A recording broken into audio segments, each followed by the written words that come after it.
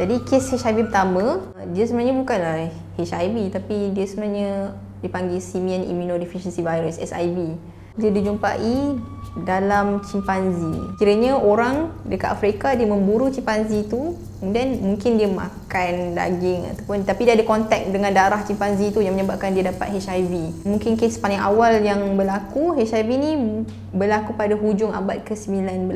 Kalau dalam haiwan uh, biasanya primate yang bukan manusia dia akan ada HIV lain.